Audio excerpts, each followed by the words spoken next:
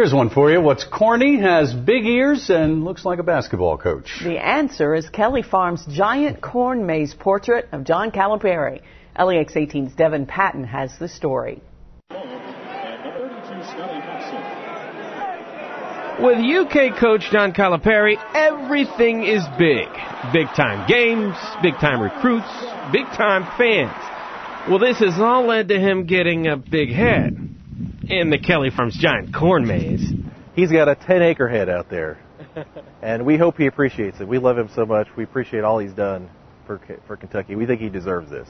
You are looking at what the Calipari corn maze will look like when it's finished. You see, right now, it's a work in progress. Last year, the corn maze was constructed to welcome people to the World Equestrian Games. This year, people will get lost in the face of Calipari. I can get down to the inch so that, you know, Calipari is a very sharp, clean image.